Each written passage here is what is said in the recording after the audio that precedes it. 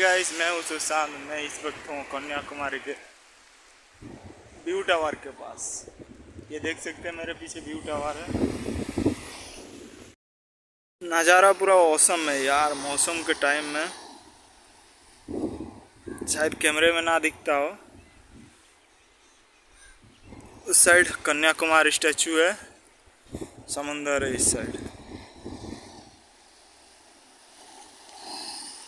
और इस साइड भी टावर है। इधर होटल थ्री पॉइंट है। और इस साइड बैठने के लिए जगह है बहुत सारे। कपल्स वगैरह इधर बैठे हैं। मस्त लहर आ रहा है यार। और उस साइड लाइट हाउस है।